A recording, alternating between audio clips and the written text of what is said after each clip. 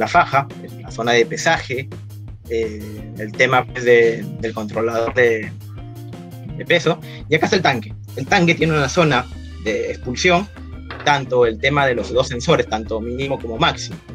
Ahora, eh, quería preguntarles pues a ver que me identifiquen cuántas eh, entradas va a tener mi, controlador, con cuántas entradas físicas voy a estar trabajando. Perdón, tres entradas por el tema pues de los dos sensores de nivel y el tema del sensor de pesaje, ¿no? Y pues obviamente dos salidas por el tema de control de la, faja y el tema de la expulsión, ¿no? La bomba de expulsión. A ver, vamos con tablas de verdad. Ya identificamos que tiene pues tres entradas. Entonces, tiene tres entradas, chicos, el tema de sus valores lógicos de su tabla, ¿cómo va a ser? ¿Cuántos valores lógicos van a colocar en su tabla? ¿Recuerdan la fórmula? 2 a la n sería 2 al cubo, que son tres entradas, tendría que ser 8 valores lógicos que tendría que ir intercalando, ¿no? Con la tabla de verdad. Le mencioné que iba a tener 8, 8, 8 valores, ¿no? Eh, y ustedes ya en el curso pues han visto cómo es que se van ordenando estos valores, ¿no? Los primeros 4 unos, 4 ceros. Algunos lo toman de manera inversa, no hay ningún problema, chicos. Entonces, 000, entonces ya va desde de la función principal. Entonces ahí tienen que hacer una evaluación del estado anterior del tema de, de la faja en sí, ¿no? Ahorita estás analizando el tema de la faja. Y quiero preguntar también, porque este tema tiene que quedar claro, tiene que quedar este, sumamente claro el tema de cómo funciona, cómo se, se analizan las tablas de verdad. Si partimos mal de acá, todo el problema va a estar mal. Ok, entonces, colocando el estado anterior de la faja aquí, ¿no? Estado anterior de la faja, un 1. ¿Qué quiere decir un 1? Que la faja está encendida en un proceso anterior. ¿No? ¿Cómo va el sensor de pesaje? No, me olvidé de mencionarlo, el sensor del pesaje es una salida digital nada más que si pesa correcto, pues te mando un 1, ¿ok? Si no pesa es un 0. No, el sensor de pesaje, ¿cómo es? Un 1. Y el sensor máximo está en 1. Quiere decir que ya le llegó suficiente material a la otra parte del tanque, ¿no? Esa parte del tanque.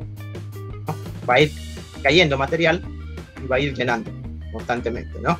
Siempre y cuando esté marcando un 1, que haya material pues en, en el transcurso de la faja.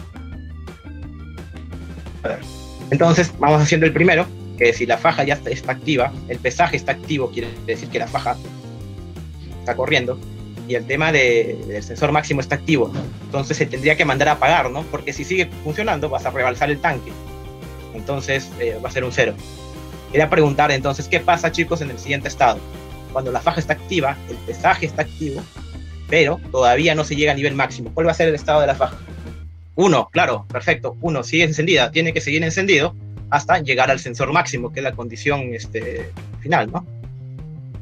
Siguiente estado, faja encendida, pesaje en cero, quiere decir que no está cayendo material, las fajas, no tendría que prender. Pero el sensor máximo ya está activo. ¿Qué se tiene que hacer en esa condición? Es cero, efectivamente, es cero, ¿no? Es cero, o sea, ¿qué quiere decir esto? Que pues ha quedado material en la zona de pesaje, pero ya llegó a su tope, ya llegó a su tope en el tanque. Entonces, si tú vas a seguir funcionando la faja, lo vas a rebalsar. Entonces tienes que apagar la, faja en realidad. Algunos mencionan un ilógico. A ver, yo no tanto lo tomaría como un ilógico. Un ilógico yo lo tomo pues en situaciones que no existen, que nunca se van a dar. Por ejemplo, yo pongo siempre el tema del tanque. Eh, por ejemplo, es imposible que tu nivel máximo esté activo en un tanque vertical y que tu, y tu nivel mínimo no esté activo. Eso es un ilógico. El agua no puede estar flotando por encima de la mitad del tanque hacia arriba. Entonces, a eso yo le llamo más que todo ilógico, ¿no? Acá sí se puede dar. O sea, el pesaje está está apagado, o sea, ya terminó su material, entonces la faja debe mandarse a apagar, ¿no? Vamos con la cuarta condición. Faja activa, pesaje ya, ya está en cero, no está mandando señal de pesaje, y el sensor máximo está en cero. ¿Qué tiene que pasar con la, con la faja?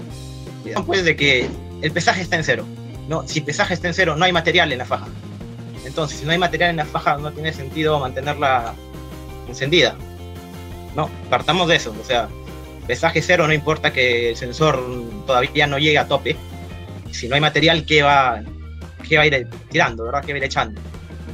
¿Qué pasa cuando la faja ha estado apagada? El sensor de pesaje ha estado en uno correctamente y el sensor máximo ha estado, eh, está en nivel 1, o sea, que está mandando señal. Vamos con esa condición. ¿Qué pasaría en, este, en, este, esta ocasión? Esto tiene que continuar apagada, exacto, tiene que continuar apagada el tema de la faja, ¿no? ¿Y por qué tiene que continuar apagada? Porque acá te lo, básicamente te lo determina el sensor máximo. Ya te, te indica pues que ya llegó a tope, ¿no? Si tú le mandas a encender, vas a rebalsar ese tanque. No, perfecto. Mientras escriben, vamos ya hablando de la, la sexta condición. Te dicen que la faja viene de un estado apagado.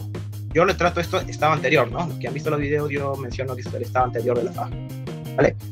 Estado anterior, el pesaje está activo, hay material, o sea, es decir, hay material, y el sensor máximo todavía como que no llega, todavía no, no está al tope. ¿Qué debe pasar? No están de acuerdo en este. Vamos con la penúltima. Faja apagada, viene de un estado apagado. El pesaje está en cero. Y el sensor máximo está en 1, está a tope sensor máximo, ¿qué debe pasar con la faja si el pesaje está marcando 0 sin material y el sensor máximo ya está a tope en este lado? Obviamente, claro, es 0. No, entonces, última condición, y creo que acá a veces un poco confunde, ¿no? Eh, faja apagada, pesaje en 0 y sensor máximo en 0. ¿Debería prender o no, chicos, la faja? Efectivamente, ya creo que va quedando claro, todos me están diciendo 0, efectivamente 0, ¿no? Entonces creo que hasta acá está quedando un poquito claro también.